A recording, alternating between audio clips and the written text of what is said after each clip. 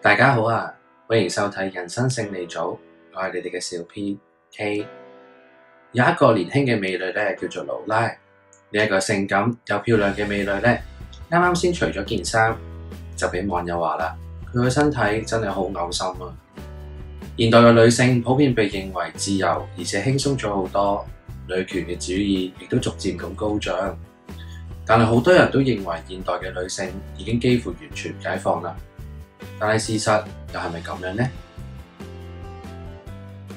根據 Global Knock 嘅報導，有一名年輕嘅美女叫做劳拉，佢最近喺網絡上成為好多網友關注而且討論嘅話題，因為佢最近喺網絡上面 po 咗一張露出腋毛嘅相，而嗰一張露毛照，光係分享就已經突破咗二千三百次，佢嘅 fans page 亦都超過咗一萬四千個讚。但你以為呢一個係一件好事咩？其實原來唔係喎，剃掉你嘅腋毛啦！你呢一個令人討厭嘅女人，你令我嘔咗一百四十六次啊！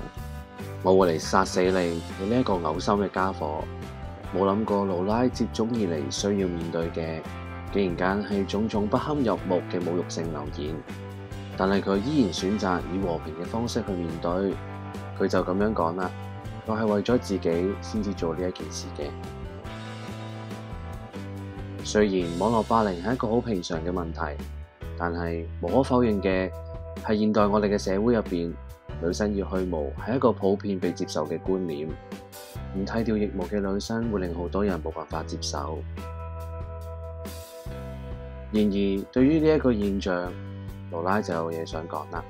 我時常都被告知男女都係平等嘅呢一件事，咁應該代表所有女生都有足夠嘅權利去做我哋想做嘅事啦。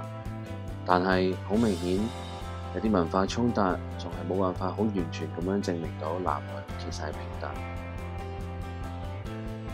即使到咗現代，好多人仲依然替女孩子嘅外表設下咗一個理想嘅標準。一旦嗰啲標準冇被達到，或者有啲唔同嘅話，咁就會出現好多嘅批判。但係除毛唔係一個自然嘅現象，甚至乎佢有時候會造成女性唔舒服。而且仲會造成腋下出現紅點同埋疤痕等等。勞拉就話啦，其實我並唔係討厭刮腋毛，只係覺得每一個人都可以做出選擇啫。我爽嘅時候就刮腋毛，唔鍾意嘅時候就等毛留住，因為呢啲全部都係我嘅選擇，就係咁簡單。有啲女人鍾意去毛，有啲就唔鍾意。所以無論最後嘅決定係乜嘢都好，呢一啲都係女人自己可以決定嘅事情。其實冇人係需要去懼怕任何心理上嘅欺負或者人哋嘅批評。最後，勞拉繼續話啦，咁樣係提醒咗我自己係有幾咁愛生活。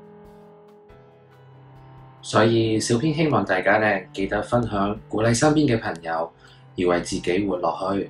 唔好俾其他人嘅負面留言而影響到自己啊！